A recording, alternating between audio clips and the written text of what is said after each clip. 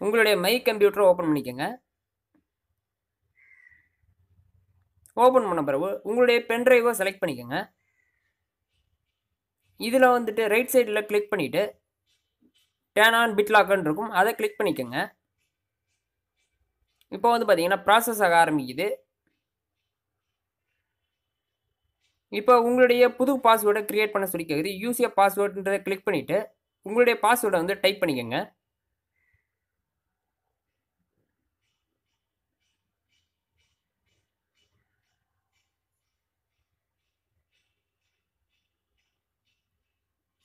Minimum வந்து பார்த்தீங்கன்னா eight character மேலே இருக்கணும்ன்ற மாதிரி சொல்லியிருக்காங்க.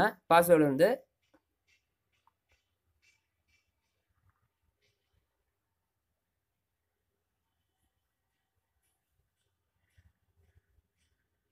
கொடுத்துட்டு நெக்ஸ்ட்ன்ற ஆப்ஷனை கிளிக் பண்ணிக்கோங்க.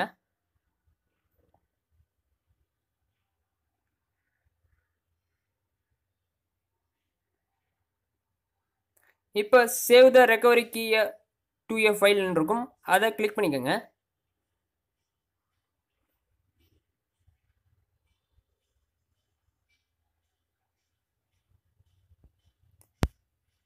இந்த கீ வந்து எது கொடுத்துருக்காங்க பார்த்தீங்கன்னா உங்களுடைய சப்போஸ் பாஸ்வேர்டு வந்து மறந்து போச்சுன்னா அதை ரெக்கவர் பண்ணுறதுக்காண்டி தான் கொடுத்துருக்காங்க. அதை மறக்காமல் உங்களுக்கு தெரிஞ்ச ஃபோல்டரில் சேவ் பண்ணி வச்சுக்கோங்க. இப்போ நெக்ஸ்ட்ன்ற ஆப்ஷனை கொடுத்துருங்க. ஸ்டார்ட் என்கிரிப்டிங் அப்படின்னு இருக்கும். அதையும் கொடுத்துருங்க.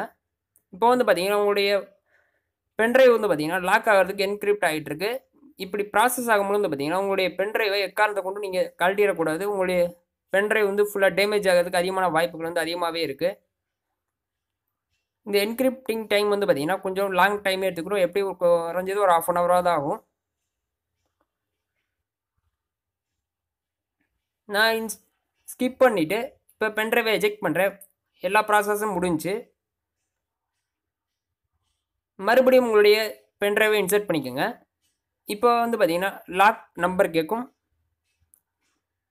இப்போ என் நான் கொடுத்துக்கூடிய பாஸ்வேர்டை கொடுத்துட்றேன். அன்லாக் அப்படின்னு இருக்கும். அன்லாக் பண்ணிடுங்க இப்போ வந்து பார்த்தீங்கன்னா டைரெக்டாக பென்ட்ரைவ் வந்து ஓப்பன் ஆக ஆரம்பிச்சிருச்சு.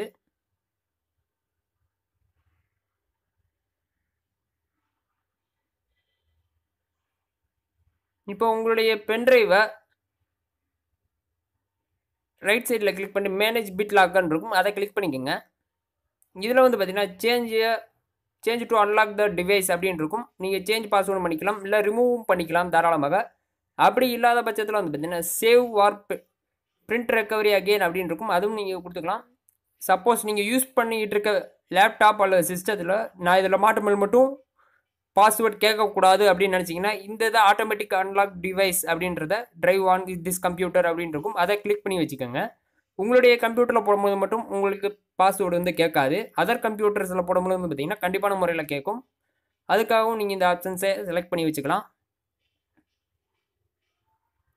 ஓகே ஃப்ரெண்ட்ஸ் இந்த வீடியோ பிடிச்சிருந்தா லைக் பண்ணுங்கள் ஷேர் பண்ணுங்கள் மறக்காமல் சேனலை சப்ஸ்கிரைப் பண்ணுங்கள் நன்றி.